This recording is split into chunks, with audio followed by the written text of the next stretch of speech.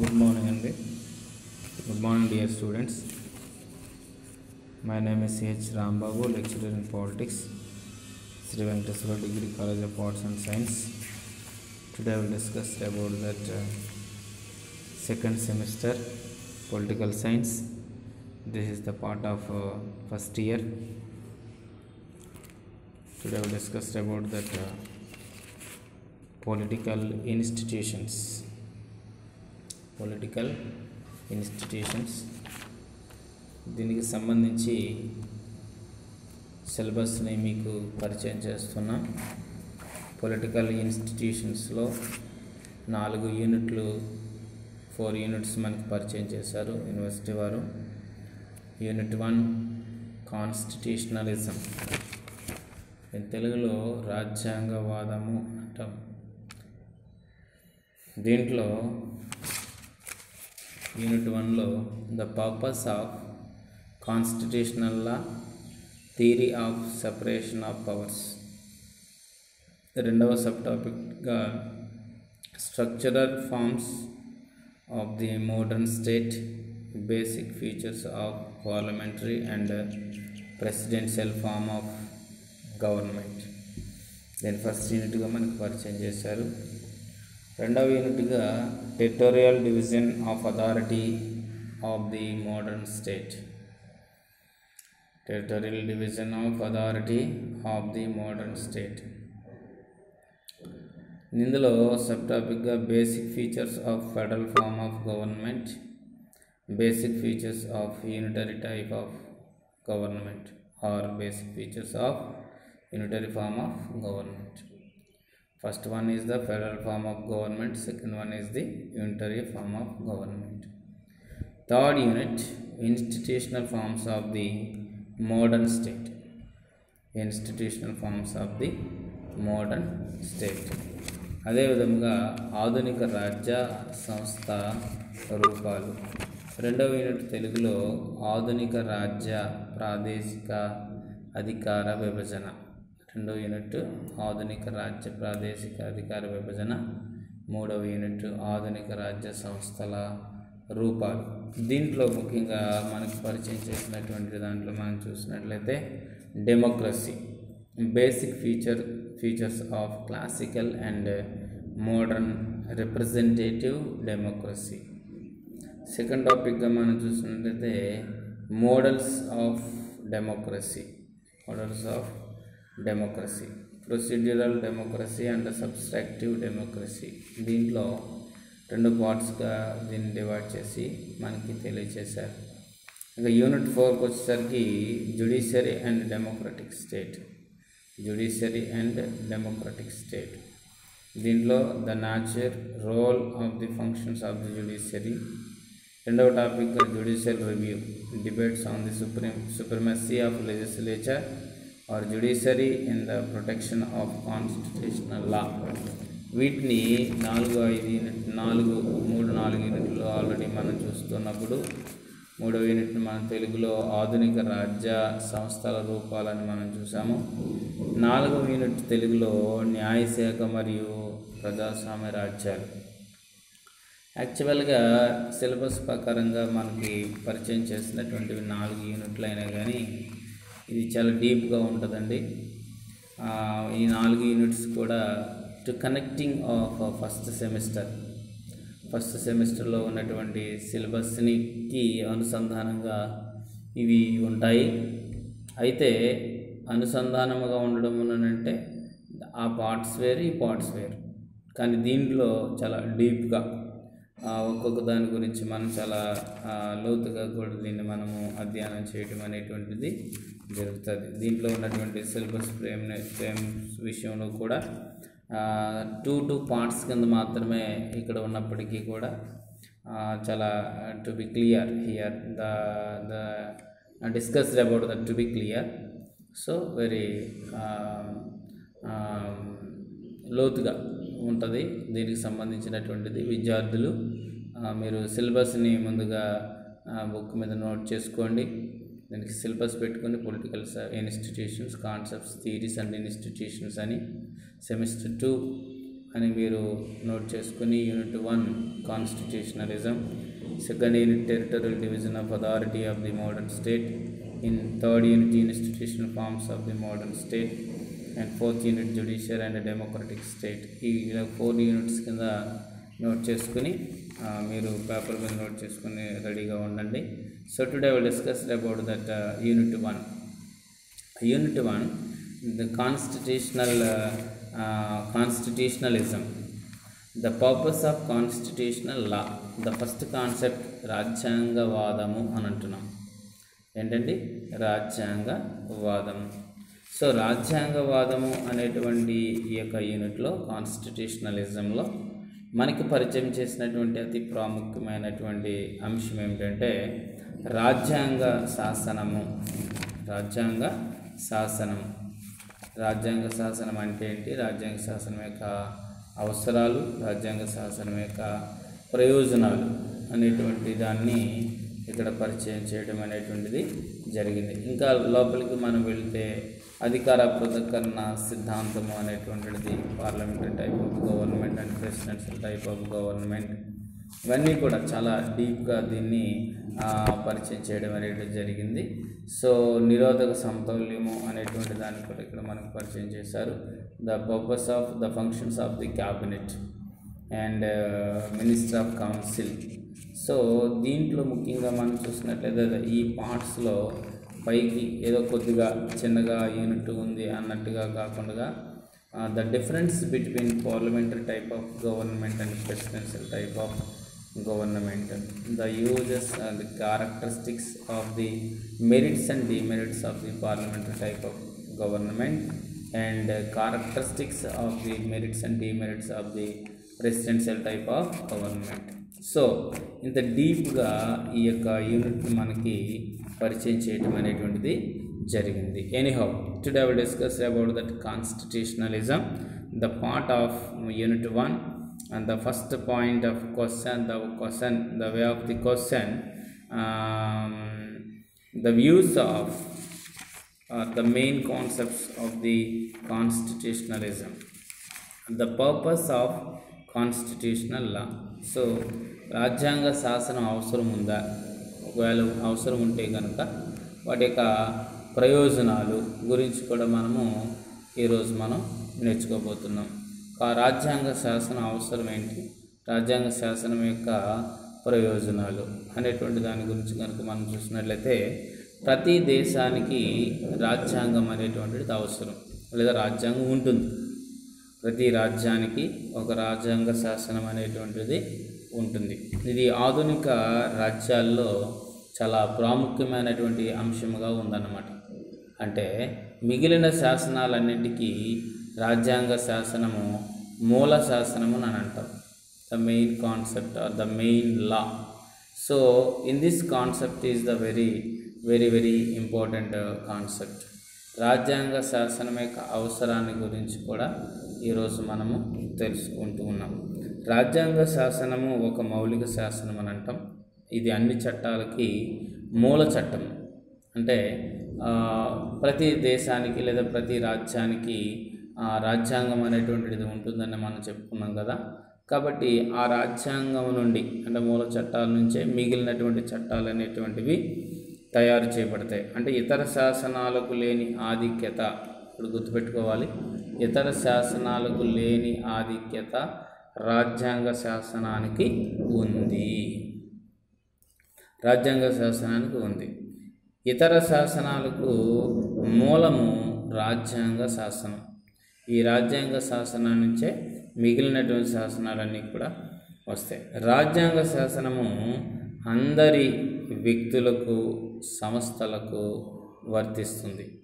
దీనిని వ్యతిరేకించడానికి వీలు లేదు. ఏమంటే చాలా ఇంపార్టెంట్. దీనిని వ్యతిరేకించడానికి వీలు లేదు. రాజ్యాంగ శాసనము ఒక మౌలిక చట్టముగా మనం చెప్తున్నాం. మూల చట్టము అని మనం చెప్తున్నాం. ఎందుకు ఇది మూల చట్టము?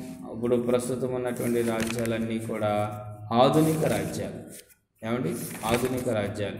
ఆధునిక రాజ్యాలకు చట్టము లేదా రాజ్యాంగము అనేటువంటిది చాలా ప్రాముఖ్యమైనటువంటి అంశంగా మనం చెప్తున్నాం.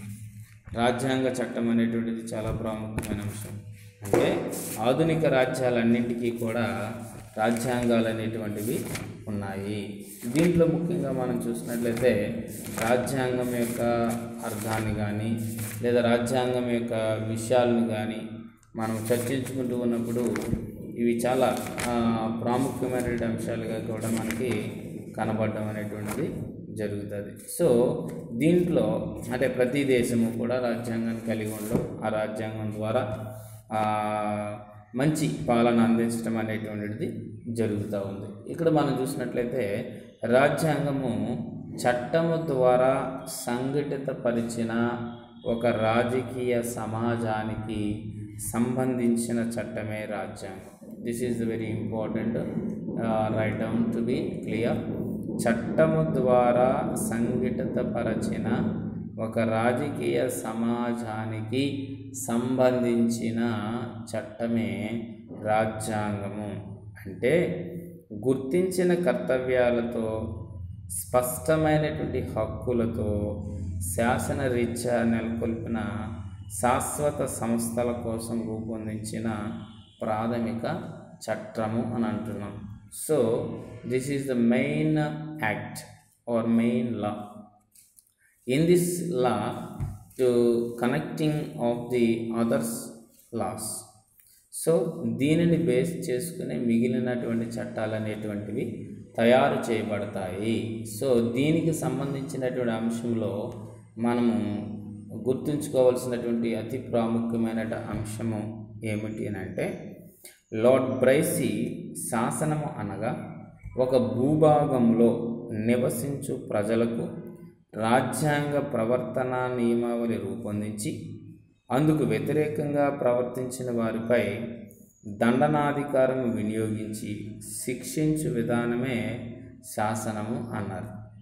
న్యాయపాలన కోసం రాజ్యంచే గుర్తించబడి అమలు చేయబడు నియమావళి సముదాయమే శాసనము అని అన్నారు లార్డ్ బ్రైసీ డెఫినేషన్ ప్రకారంగా శాసనము అనగా ఒక భూభాగంలో నివసించు ప్రజలకు రాజ్యాంగ ప్రవర్తన నియమావళి రూపొందించి అందుకు వ్యతిరేకంగా ప్రవర్తించిన వారిపై దండనాధికారము వినియోగించి ఏమండి? దండనాధికారము వినియోగించి శిక్షించు విధానమే ఈ శాసనం.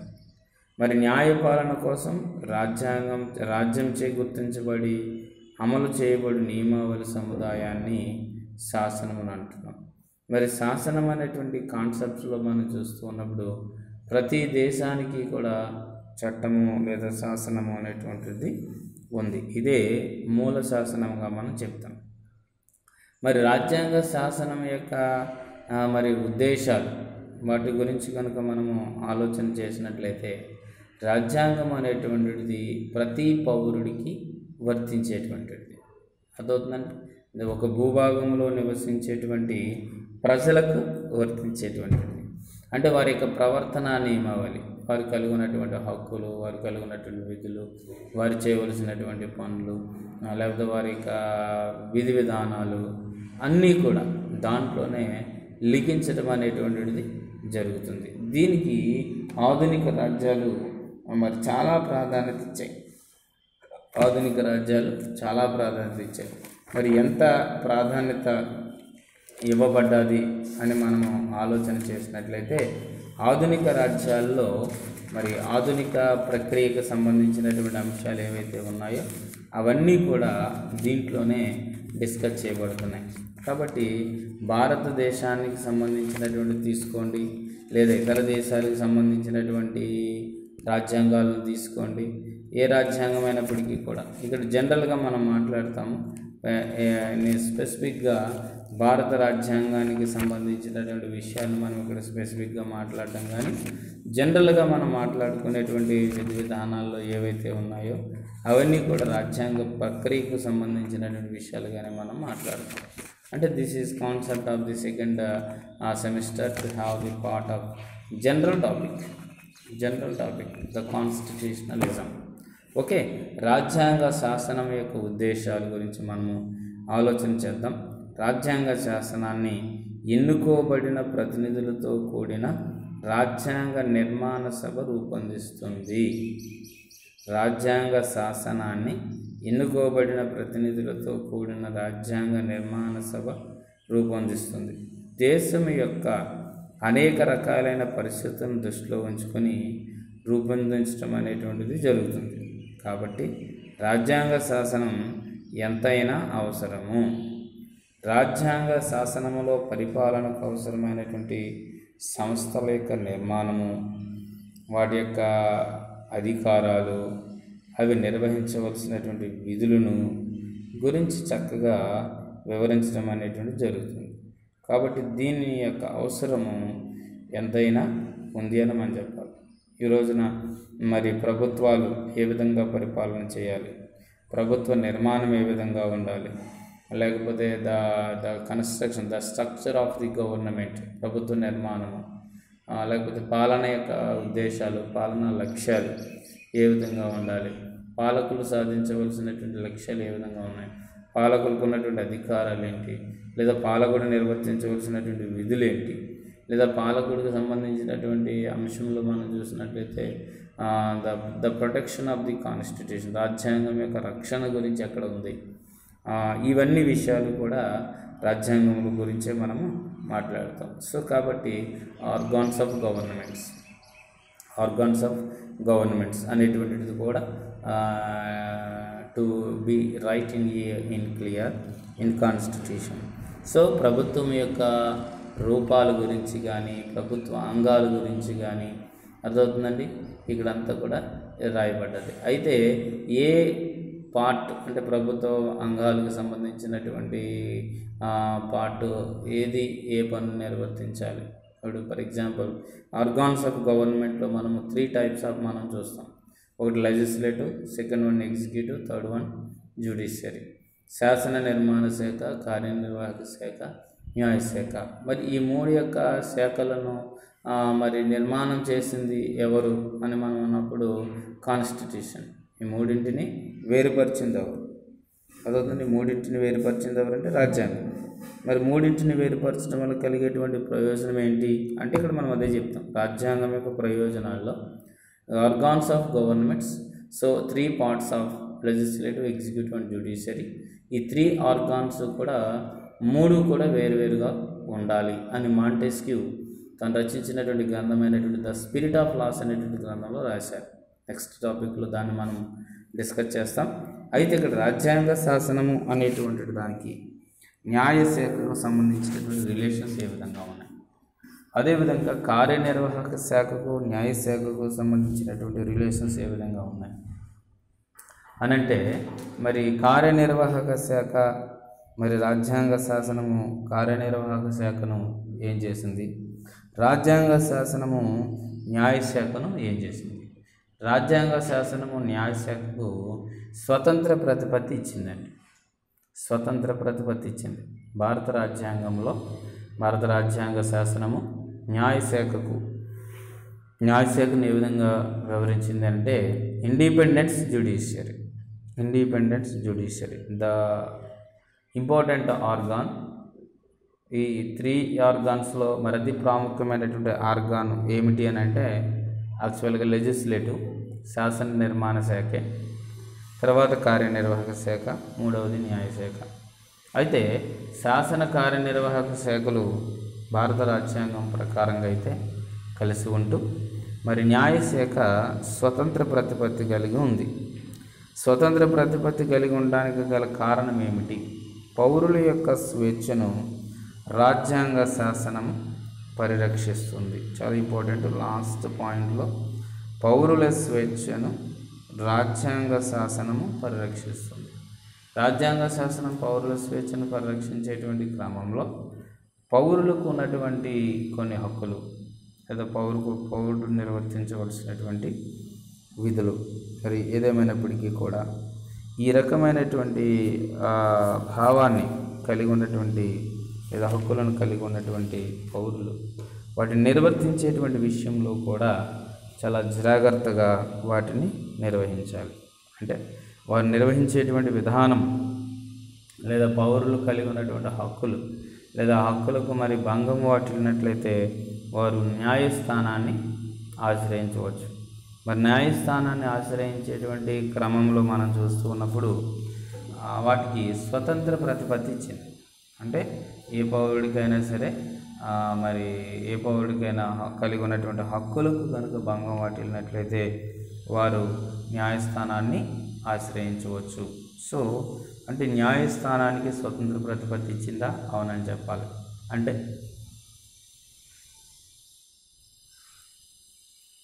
స్వతంత్ర ప్రతిపత్తి ఇవ్వడంలో పౌర హక్కులకు మరి రక్షణ అనేటువంటిది కల్పించబడుతుంది. పౌర హక్కులు మరి భంగం వాటిల్లకుండా ఉండడం కోసం స్వతంత్ర ప్రతిపత్తి కలిగినటువంటి న్యాయ వ్యవస్థకు అప్పగించడం అనేటువంటిది చాలా ప్రాముఖ్యమైనటువంటి అంశం. అదేవిధంగా న్యాయ వ్యవస్థకి అంటే ఇక్కడ మనం చూసినప్పుడు చట్టాలను తయారు చేసేటువంటి అవకాశాలని శాసన నిర్మాణానికి ఇచ్చింది. మరి ఆ చట్టాలను అమలుపరిచేటువంటి అధికారము కార్యనిర్వాహక శాఖకు ఇవ్వబడ్డది. మరి కార్యనిర్వాహక శాఖకు ఇచ్చిన తర్వాత ఆ చట్టాలు సక్రమమైన పద్ధతిలో అమలు అవుతున్నాయా లేదా? లేదా చట్టాలు సక్రమమైన పద్ధతిలో తయారు చేయబడుతున్నాయా లేదా అని పరిశీలించేటువంటి అధికారం న్యాయస్థానానికి ఇవ్వబడ్డాలి న్యాయస్థానానికి ఇవ్వబడ్డాలి దాన్నే మన యొక్క రాజనీతి శాస్త్ర పరిభాషలో న్యాయ సమీక్షాధికారం అని అంటున్నాం జుడిషియల్ రివ్యూ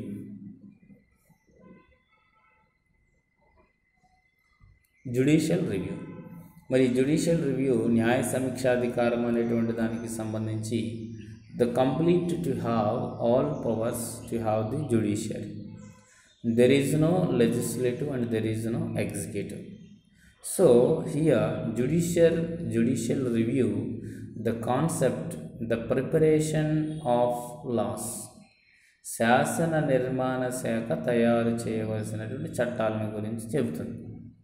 మరి శాసన నిర్మాణ శాఖ తయారు చేయవలసినటువంటి చట్టాలు శాసనబద్ధముగా లేకపోయినట్లయితే అంటే రాజ్యాంగబద్ధంగా.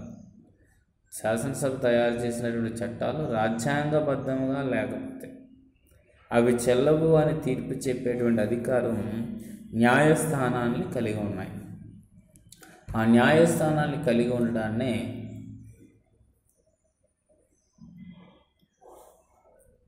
న్యాయ సమీక్షాధికారం అని అంటున్నాం. న్యాయస్థానాలు కలిగి ఉండాలని న్యాయ సమీక్షాధికారం. అంటే రాష్ట్ర స్థాయిలో రాష్ట్ర హైకోర్ట్స్కి కేంద్ర స్థాయిలో సుప్రీంకోర్టుకి ఇవ్వబడ్డాయి. అంటే శాసన నిర్మాణ శాఖ తయారు చేసేటువంటి చట్టాలు తయారు చేస్తున్నటువంటి విధి విధానాలు. అవి రాజ్యాంగానికి లోబడి మాత్రమే తయారు చేయాలి. ఒకవేళ రాజ్యాంగానికి వ్యతిరేకంగా తయారు చేసినట్లయితే అవి చెల్లవు అని తీర్పు చెప్పే అధికారము న్యాయస్థానాలకు ఇవ్వబడ్డది. This is the very very important so the that concept is the judicial review ఎందుకు రాజ్యాంగం యొక్క అవసరము రాజ్యాంగం యొక్క ప్రయోజనాల్లో వీటి గురించి మనం మాట్లాడుతున్నామని అంటే నెక్స్ట్ టాపిక్లో మనం మాట్లాడుతున్నప్పటికీ అంటే రాజ్యాంగానికి ఎంత ఆధిక్యత ఉందా అనేటువంటి విషయాన్ని విద్యార్థి ప్రారంభ దశలోనే గుర్తించాలి. That is the main concept ఓకేనండి అయితే మరి రాజ్యాంగానికి కావలసినటువంటి లేదా రాజ్యాంగ శాసన పరిపాలనకు సంబంధించినటువంటి అంశాల్లో మనం చూస్తూ ఉన్నప్పుడు పరిపాలనకు కావలసినటువంటి ప్రవర్తన నియమావళిని రూపొందిస్తుంది అనేటువంటి విషయాన్ని ఇక్కడ మనము తెలుసుకుంటూ ఉన్నాం అయితే ప్రతి దేశానికి రాజ్యాంగాలు ఉంటాయి. అయితే ఈ రాజ్యాంగాలు లిఖిత రాజ్యాంగాలు కావచ్చు లేదా అలిఖిత రాజ్యాంగాలు కావచ్చు written constitution or not so భారత రాజ్యాంగము లిఖిత రాజ్యాంగం. భారత రాజ్యాంగం లిఖిత రాజ్యాంగం. అంటే written constitution the first characteristics are to have the our constitution written constitution లిఖిత రాజ్యాంగం. భారత రాజ్యాంగాన్ని రచించడానికి రెండు సంవత్సరాల పదకొండు నెలల పద్దెనిమిది రోజుల కాల వ్యవధి పట్టింది. ఈ రాజ్యాంగ రచనకు అరవై నాలుగు లక్షల రూపాయలు ఖర్చయింది ఆ రోజుల్లో. సో కాబట్టి ఇక్కడ భారత రాజ్యాంగము లిఖిత రాజ్యాంగమే. లిఖిత రాజ్యాంగము అనేటువంటి దాని కనుక మనం చూసినట్లయితే the modification of the impact of the state government so రాష్ట్రాల యొక్క ప్రభావం అనేటువంటిది కూడా ఉంది. అంటే రాష్ట్రాల యొక్క ప్రభావం అని అంటే రాజ్యాంగాన్ని సవరించే అధికారం రాష్ట్ర ప్రభుత్వాలకు లేదు. రాజ్యాంగాన్ని సవరించే అధికారం కేవలము పార్లమెంటుకు మాత్రమే ఉంది. అయితే రాజ్యాంగాన్ని సవరించేటువంటి అధికారాలలో సాధారణ మెజారిటీ పద్ధతి ఏకపక్ష ప్రత్యేక మెజారిటీ పద్ధతి ద్విపక్ష ప్రత్యేక మెజారిటీ పద్ధతి అనేటువంటి మూడు పద్ధతుల ద్వారా రాజ్యాంగాన్ని సవరించేటువంటి అధికారము ఇవ్వబడుతుంది. అంటే రాజ్యాంగాన్ని సవరించే అధికారం పార్లమెంట్గా ఉంది. అంటే సాధారణ మెజారిటీ పద్ధతి ద్వారా సవరించటం ఏకపక్ష ప్రత్యేక మెజారిటీ పద్ధతి ద్వారా సవరించటం మరి ద్విపక్ష ప్రత్యేక మెజారిటీ పద్ధతి ద్వారా సవరించటం అనేటువంటిది ఇక్కడ రాయబడినటువంటి అంశం అని మనం గుర్తించాలి. ఎనీహౌ ఏదేమైనప్పటికీ కూడా కేంద్ర రాష్ట్ర ప్రభుత్వాల మధ్య అధికార విభజన చేస్తున్నది మరి మనం రాజ్యాంగమైన మనం చెప్తున్నాం. రాజ్యాంగం ఏం చేస్తుంది? కేంద్ర రాష్ట్ర ప్రభుత్వాల మధ్య అధికార విభజన చేస్తుంది. కాబట్టి దీని యొక్క అవసరము చాలా ఉంది అని మనం చెప్పచ్చు. రాజ్యాంగము లేకుంటే ప్రజలు అన్ని హక్కులను స్వేచ్ఛలను అనుభవించలేరు. రాజ్యాంగము చట్ట సాధారణ చట్టానికి భిన్నముగా ఉంటుంది. సో దీంట్లో దీంట్లో ముఖ్యంగా మనం చూసినట్లయితే ఈ ప్రజలు అనుభవించేటువంటి హక్కులు అర్థవుతుందండి స్వేచ్ఛలను స్వేచ్ఛలను అనుభవించలేరు. ప్రజలు ఏ రకమైనటువంటి హక్కులను అనుభవిస్తూ ఉన్నారు? ఫర్ ఎగ్జాంపుల్ భారత రాజ్యాంగంలోని హక్కులను గురించి కనుక మనము ఆలోచన చేసినట్లయితే రైట్ ఆన్ ద స్పెసిఫిక్ భారత రాజ్యాంగంలో మరి చాలా ప్రాముఖ్యమైనటువంటి హక్కులు అనేటువంటివి రాయబడ్డాయి. అర్థవుతుందండి అదేవిధంగా భారత రాజ్యాంగం యొక్క అంశాన్ని గురించి కనుక మనం చూసినట్లయితే ప్రియాంబుల్ ఇది మనందరికీ తెలిసినటువంటి భాగమే. అర్థవుతుందండి పీఠిక లేదా ప్రియాంబుల్ అనేటువంటి దాని గురించి కూడా మనం చూస్తున్నాం. అంటే భారత రాజ్యాంగంలోని తాత్వికపరమైనటువంటి పునాదులు అనేటువంటిది వేయబడ్డాయి. అందుకనే ఇక్కడ మనము అంటే పలానా రాజ్యాంగం గురించి అనేటువంటి విషయాన్ని గురించి మనం పరిచయం చేయకపోయినా మన భారతదేశంలో ఉన్నాం కాబట్టి భారత రాజ్యాంగం యొక్క లక్ష్యాలు ఏమై ఉన్నాయి? అంతే కదా? ఇప్పుడు మనము ప్రారంభంలోనే మనం చెప్పుకున్నాం. భారత రాజ్యాంగం అదే రాజ్యాంగము అనేటువంటిది ప్రతి దేశానికి ఉంటుంది. అదే విధముగా ఆ రాజ్యాంగము ఏ ఏ లక్ష్యాలనైతే కలిగి ఉంటుందో అదొద్దా ఆ ఆ ప్రజలు ఏ లక్ష్యాలనైతే సాధించాలని అనుకున్నారో వాటిని సాధించేటువంటి క్రమంలో అవి ముందుకు వెళ్తూ ఉంటాయి. సో కాబట్టి భారత రాజ్యాంగాన్ని కనుక మనం చూసుకున్నట్లయితే భారత రాజ్యాంగం పంతొమ్మిది వందల యాభై జనవరి ఇరవై ఆరవ తేదీ నుండి అమల్లోనికి వచ్చింది. అయితే యాక్చువల్గా ఈ రాజ్యాంగ సంబంధమైన అంశాలకి సంబంధించి కనుక మనం చూసినట్లయితే రాజ్యాంగ పరిషత్ రాజ్యాంగ పరిషత్లో ఆమోదం పొందినటువంటి అనేకమైనటువంటి అంశాలు తర్వాతే ఇది రాజ్యాంగ రాజ్యాంగముగా ఆ పరిషత్తులో ఆమోదం పొందినటువంటి అంశాలనే తీర్మానించి అది రాజ్యాంగంలో రూపొందించబడ్డం అనేటువంటిది జరిగింది. దాన్ని మనము యాక్చువల్గా ప్రారంభంలో మనం చూసినట్లయితే పంతొమ్మిది వందల నలభై ఏడు జనవరి ఇరవై ఆరు ఇరవై రెండవ తేదీన రాజ్యాంగ సభ లక్ష్య తీర్మానాన్ని ఆమోదించింది. లక్ష్యాల తీర్మానం. అంటే భారత రాజ్యాంగంలో ఏ లక్ష్యాలు అయితే ఉన్నాయో ఆ లక్ష్యాలన్నింటినీ మరి నెహ్రూ గారు ఏ లక్ష్యాలను అయితే కలిగి ఉన్నారో ఆ లక్ష్యాలన్నింటినీ కూడా భారత రాజ్యాంగ పరిషత్తు ఆమోదించడం అనేటువంటిది జరిగిందనమాట. అంటే ఆ తీర్మానంలో ఏ ఏ అంశాలు ఉన్నాయి అనేటువంటి దాని గురించి మనము ఆలోచన చేసినట్లయితే ప్రియాంబుల్ ఇవి చాలా to be clear write down to be clear భారతదేశాన్ని స్వతం స్వతంత్ర సర్వసత్తాక సామ్యవాద ప్రజాస్వామ్య లౌకిక రాజ్యాంగంగా రాజ్యంగా గుర్తించడం అనేటువంటిది జరిగింది. కానీ ఆ సమయానికి కొన్ని అంశాలు భారత ప్రియాంబుల్లో భారత రాజ్యాంగ ప్రియాంబుల్లో అవి లేవనేటువంటి సంగతిని మనము గ్రహించాలి.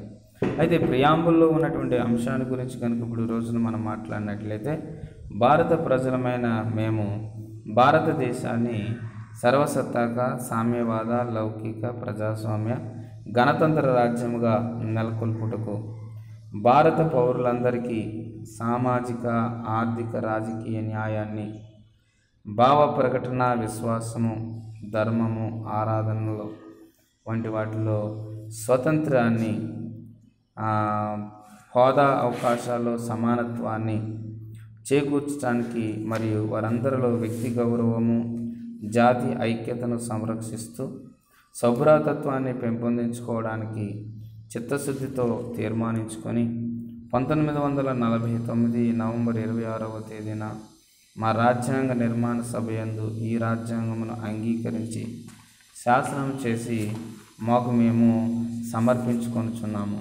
ఇది ప్రియాంబుల్లో ఉన్నటువంటి సాధారణమైనటువంటి భావజాలం.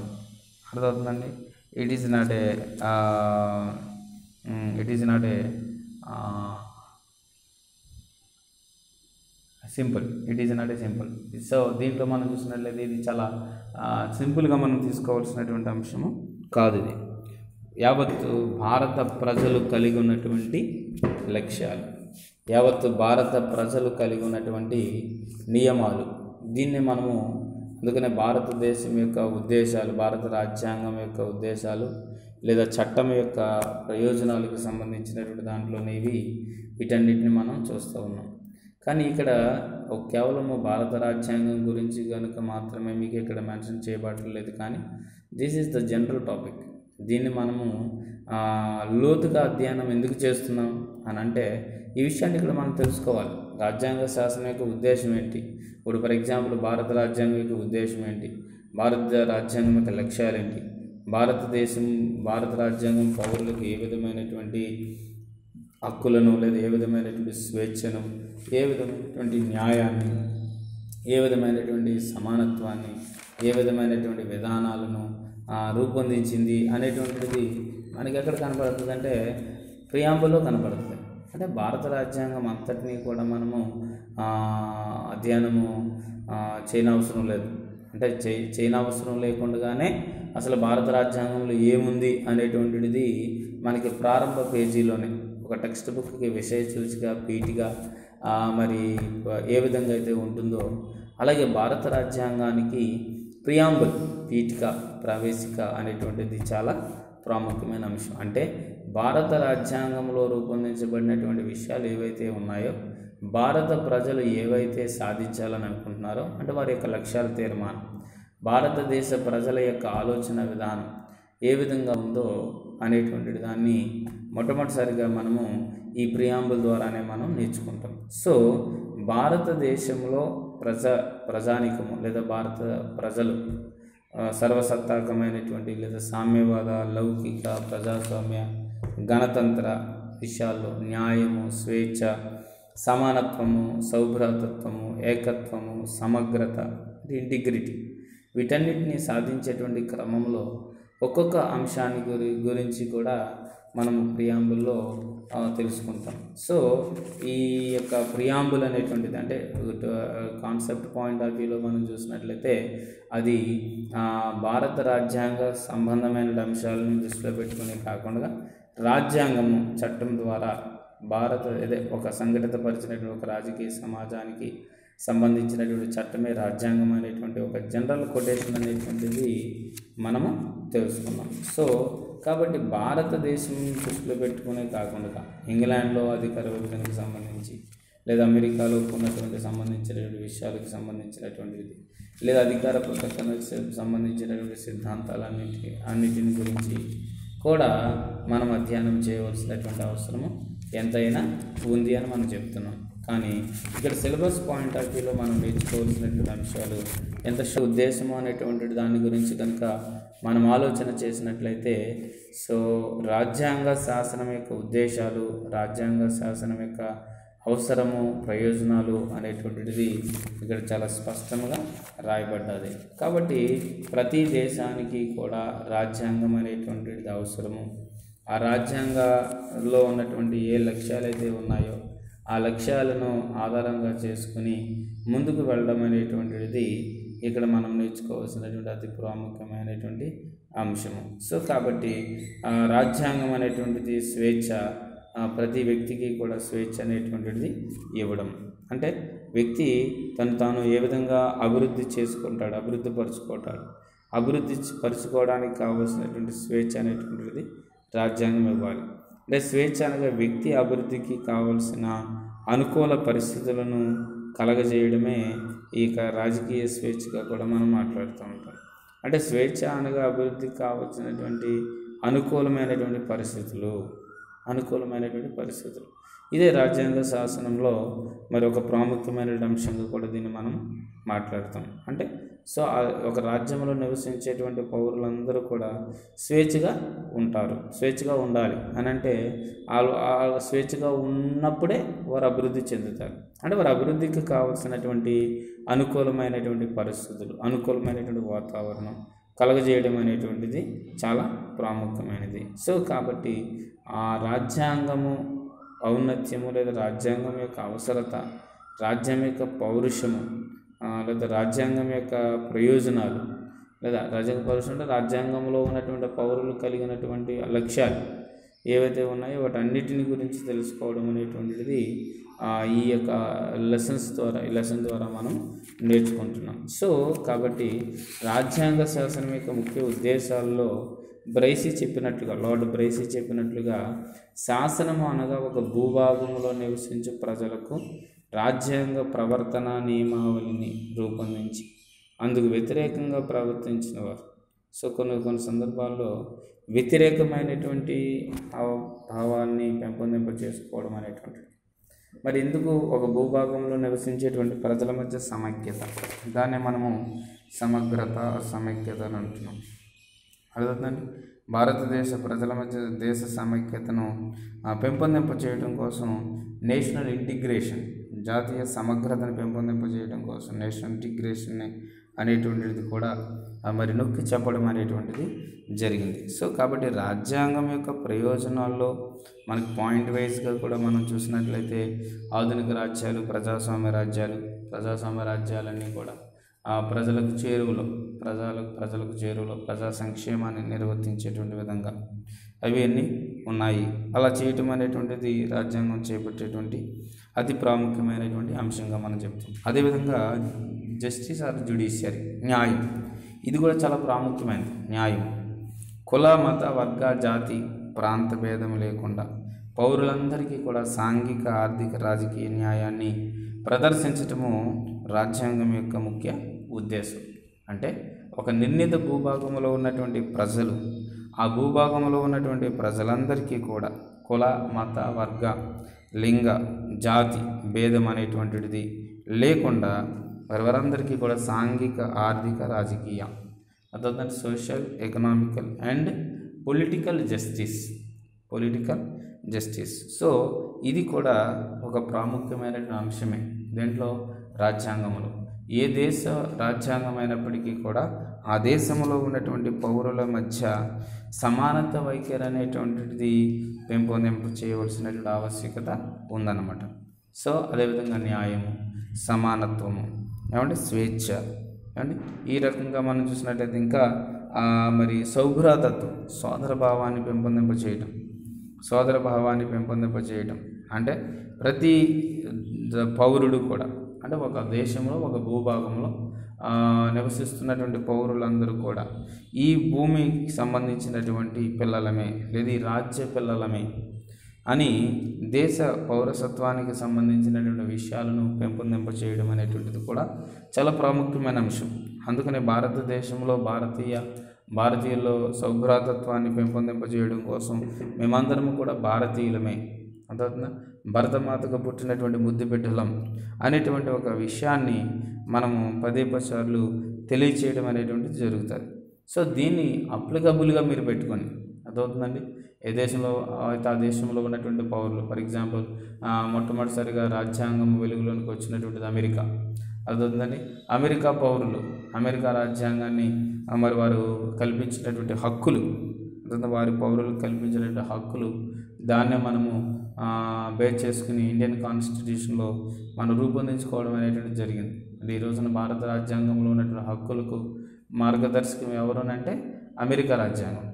అర్థమవుతుందండి? సో కాబట్టి వాళ్ళ నుంచి మనము హక్కులు అనేటువంటి దాన్ని మనం తీసుకున్నాం. అట్లాగా మనం చెప్పుకుంటూ వెళ్తే ఏ దేశ దేశానికైనప్పటికీ కూడా ఆ రాజ్యాంగము ఆ రాజ్యాంగం కలిగి ఉన్నటువంటి లక్ష్యాలు ఆ రాజ్యాంగ భావన ద్వారా అంటే లక్ష్యాల ద్వారా పౌరులు సాధించవలసినటువంటి విషయాలు ఏవైతే ఉన్నాయో అట్లా కాకుండా మరి రాజ్యాంగ ప్రవర్తన నియమావళిని రూపొందిస్తుంది. అందుకు వ్యతిరేకంగా ప్రవర్తించిన వారిపై దండనాధికారం శిక్షించేటువంటి అధికారం అర్థమవుతుందండి? శిక్షించేటువంటి అధికారం కూడా రాజ్యాంగమే కలిగి ఉంది. మరి శిక్షించేటువంటి అధికారం కలిగి ఉండడము అనేటువంటి కాన్సెప్ట్స్ గురించి చూసినట్లయితే దానికి ఒక ప్రత్యేకమైనటువంటి విభాగాన్ని ఏర్పాటు చేశారు. దాన్ని న్యాయపాలన అర్థమవుతుందండి? జ్యుడిషియల్ అంటే న్యాయపాలన కోసం రాజ్యం చే గుర్తించబడి అమలు చేయబడేటువంటి నియమాల సముదాయాన్ని కూడా మనం శాసనం అంటున్నాం. సో న్యాయపాలన సో ఈ న్యాయపాలన అనేటువంటిది జరగడం వలన ఏ ఒక్క పౌరుడు కూడా కృంగిపోవడం అనేటువంటిది ఉండదు. ఎందుకని? న్యాయ న్యాయం అనేటువంటిది అందరికీ సమానంగా వర్తించేటువంటి ప్రక్రియగా ఉంది. కులాన్ని బట్టో మతాన్ని బట్టో జాతిని బట్టో శిక్షలు ఖరారు చేయడం అనేటువంటిది కాకుండా సామాన్య ప్రజానికం మొదలుకొని ఉన్నతమైనటువంటి హోదాలో ఉన్నటువంటి వారందరూ కూడా మరి న్యాయపాలన లేదా చట్టం ముందు అందరూ సమానమైనటువంటి భావాన్ని తీసుకొచ్చేటువంటి ప్రక్రియ ఇక్కడ రాజ్యాంగవాదంలో మనం మాట్లాడతాం. సో ఇన్ ఎస్పెషలీ కాన్స్టిట్యూషనలిజంలో పౌరుల యొక్క హక్కులకు రాజ్యాంగము రక్షణ కల్పిస్తుంది. దీనికి సంబంధించి కొన్ని విషయాలు చెప్పి మనము యొక్క పార్ట్ని మనం ముగించుకుందాం. సో ఇక్కడ మనం చూసినట్లయితే భారత రాజ్యాంగంలో పౌరులకు కొన్ని హక్కులను కల్పించారండి. అర్థమవుతుందండి? భారత రాజ్యాంగంలో మూడవ భాగంలో పన్నెండవ నిబంధన నుండి ముప్పై ఐదవ ముప్పై ఐదవ నిబంధన వరకు ఏడు రకాలైన హక్కులను ప్రస్తావించడం జరిగింది. అయితే ప్రస్తుతం ఆరు హక్కులు మాత్రమే ఈ విభాగంలో ఉన్నాయి. ఆస్తి హక్కు విభాగం నుండి తొలగించబడ్డది. సో దాన్ని జనరల్ రైట్గా చేయడం అనేటువంటిది జరిగింది. వాటి గురించి ఒక చిన్న వివరణ ఇచ్చేసి నేను క్లోజ్ చేస్తాను. సో మొట్టమొదటిది సమానత్వపు హక్కు. పద్నాలుగో నిబంధన నుంచి పద్దెనిమిదో నిబంధన వరకు డిస్కస్ చేస్తుంది. రెండవది స్వేచ్ఛా స్వాతంత్రపు హక్కు. పంతొమ్మిదో నిబంధన నుంచి ఇరవై రెండవ నిబంధన వరకు. మూడవ హక్కు పీడనాన్ని నిరోధించే హక్కు. ఇరవై మూడు ఇరవై నాలుగు నిబంధనలు. నాలుగవది మత స్వాతంత్రపు హక్కు. ఇరవై ఐదు నుంచి ఇరవై ఎనిమిది నిబంధనలు విద్యా సంస్కృతి విషయపు హక్కు ఇరవై తొమ్మిది ముప్పై నిబంధనలు రాజ్యాంగ పరిహారపు హక్కు ముప్పై రెండవ నిబంధన ఆస్తి హక్కు ముప్పై ఒకటవ నిబంధన. అయితే దీంట్లో మనము పంతొమ్మిది వందల డెబ్భై ఎనిమిదో సంవత్సరంలో నలభై నాలుగవ రాజ్యాంగ సవరణ ద్వారా ఆస్తి హక్కును ప్రాథమిక హక్కుల జాబితా నుండి తొలగించి ఒక చట్టబద్ధమైన హక్కుగా ప్రకటించారు. అప్పటి నుంచి భారత పౌరులు ఆరు ప్రాథమిక హక్కులు మాత్రమే వారు అనుభవి అదే అమల్లో ఉన్నట్టుగా మనం చూస్తున్నాం. ఇందుకు ఈ హక్కుల గురించి మీకు వివరణ ఇవ్వబడింది అంటే సమానత్వపు హక్కు కానీ స్వేచ్ఛ స్వాతంత్రపు హక్కు కానీ పీడన నిరోధించే హక్కు కానీ మత స్వాతంత్రపు హక్కు కానీ విద్యా సంస్కృతి విషయపు హక్కు కానీ ఈ పైన ఉన్నటువంటి హక్కులన్నిటికీ ఎవరికైతే భంగం కలుగుతాయో హక్కుల విషయంలో ఎవరికైతే భంగం కలుగుతుందో ఆ హక్కులకు కలిగినటువంటి భంగం వలన వారు న్యాయస్థానాలకు వెళ్ళవచ్చు అర్థందండి ఈ న్యాయస్థానానికి వెళ్ళినప్పుడు కాన్స్టిట్యూషనల్ రెమెడీస్ రాజ్యాంగ పరిహారపు హక్కు. కాన్స్టిట్యూషనల్ రాజ్యాంగ కాన్స్టిట్యూషనల్ రెమెడీస్ రాజ్యాంగ పరిహారపు హక్కు. ఈ రాజ్యాంగ పరిహారపు హక్కు అనేటువంటిది న్యాయస్థానాల ద్వారా రక్షణ కల్పించబడ్డాయి. అంటే మిగిలిన హక్కులకి. లేదా రాజ్యాంగ పరిహారపు హక్కు ద్వారా మిగిలిన హక్కులకి రక్షణ కల్పించబడ్డాయి. ఈ రాజ్యాంగ పరిహారపు హక్కును గురించినటువంటి ప్రస్తావన అంతా కూడా the protection of laws the completely to the belongs to have judiciary. అర్థమవుతుందండి? న్యాయస్థానాల యొక్క రక్షణలో ఉంటాయి ఇవన్నీ కూడా. అది ఇక్కడ మనం గుర్తించవలసింది. న్యాయస్థానాల యొక్క రక్షణలో. ప్రాథమిక హక్కులన్నీ కూడా న్యాయస్థానాల యొక్క రక్షణలో ఉండడం అనేటువంటిది జరుగుతుంది. అందుకనే రాజ్యాంగ పరిహారపు హక్కు అనేటువంటి దానికి చాలా ప్రాధాన్యత ఇవ్వబడ్డాయి. సో దీంట్లో కోర్ట్స్ అనేటువంటివి సో ఈ ముప్పై రెండవ నిబంధన ద్వారా ఈ సుప్రీంకోర్టు ప్రాథమిక హక్కులకు రక్షణ కల్పించేటువంటి విధానంలో కొన్ని రిట్స్ని జారీ చేస్తూ ఉంటుంది. రిట్స్. అర్థమవుతుందండి? సో ఈ రిట్స్ని జారీ చేసి ఆ పౌరులకు భద్రత అనేటువంటిది కల్పించబడుతూ ఉంటుంది. So this is the very important concept of the constitutionalism. అర్థమవుతుందండి? అంటే ఎట్లాగ ఏ ఏ దేశం అయితే చేయబడుతుందో ఆ దేశ ప్రజాస్వామ్య సిద్ధాంతాలు కానీ ఆ దేశ ప్రజలకు కావలసినటువంటి స్వేచ్ఛ కానీ ఆ దేశ ప్రజలకు కావలసినటువంటి సమానత్వం కానీ ఉంటుంది అనేటువంటి విషయాన్ని ఇక్కడ మనం గుర్తించాలి ఇది గమనించాలి. సో కాబట్టి రాజ్యాంగ శాసనం యొక్క ముఖ్య ఉద్దేశము ఆ రాజ్యంలో నివసిస్తున్నటువంటి పౌరులకు స్వేచ్ఛా స్వతంత్రాలను ప్రసాదించటం అనేటువంటిది చాలా ప్రాముఖ్యమైనటువంటి అంశంగా మనం చెప్పాలి. సో కాబట్టి రాజ్యాంగ శాసనం అవసరము ఎంతైనా ఉంది. దాని వలన ప్రయోజనాలు ఎన్నైనా ఉన్నాయి. ఈ రోజున మనము భారతదేశంలో అనుభవించేటువంటి స్వేచ్ఛ సమానత్వము సోదర భావము జాతీయ సమైక్యత వీటన్నిటి rights and duties direct principles of state policy ఇవన్నీ కూడా అర్థమవుతుందండి? యూనివర్సల్ ఫ్రాన్స్ సార్వజనీన వయోజన ఓటు హక్కు కానీ ఇవన్నీ కూడా మనము అనుభవిస్తున్నాము అని అంటే దానికి గల కారణం మన రాజ్యాంగంలో రూపొందించబడినటువంటి అంశాలు. అలాగే రాజ్యాంగవాదానికి సంబంధించినటువంటి అంశాల్లో ఏ ఏ దేశము ఫర్ ఎగ్జాంపుల్ ఇంగ్లాండ్ కానీ అమెరికా కానీ జపాన్ కానీ అర్థమవుతుందండి? జర్మనీ కానీ రష్యా కానీ ఇట్లాగా ఏ ఏ దేశాల యొక్క రాజ్యాంగాలను ఆయా లేదా ఆయా దేశాల యొక్క రాజ్యాంగాలు మనం పరిశీలన చేసినప్పుడు ఆయా రాజ్యాంగాలు కల్పించినటువంటి విధి విధానాలు ఆ దేశ పౌరులు అనుభవించడానికి అవకాశం అనేటువంటిది ఉంటుంది. సో కాబట్టి రాజ్యాంగ కాన్స్టిట్యూషనలిజం అనేటువంటి కాన్సెప్ట్ జనరల్గా మనం చూసినట్లయితే అంటే ఆధునిక రాజ్యాల్లో ప్రజాస్వామ్య సిద్ధాంతాలను లేదా ప్రజాస్వామ్య భావాలను అనుసరిస్తున్నటువంటి ఏ దేశమైనప్పటికీ కూడా రాజ్యాంగానికి అధిక ప్రాధాన్యత అనేటువంటిది ఇవ్వబడింది. ఈ రాజ్యాంగమే మూల చట్టము. ఆ దేశ ప్రజలకు కావలసిన చట్టాలన్నీ కూడా ఈ చట్టం నుండి మరలా తయారు చేయడం అనేటువంటిది లేదా వాటిని డిస్కస్ చేయడం అనేటువంటిది జరుగుతుంది. ఆ చట్ట ప్రకారంగానే పాలకులు పరిపాలన చేయవలసిన అవసరం ఎంతైనా ఉంది అనేటువంటి విషయాన్ని గమనించాలి. Thank you very much.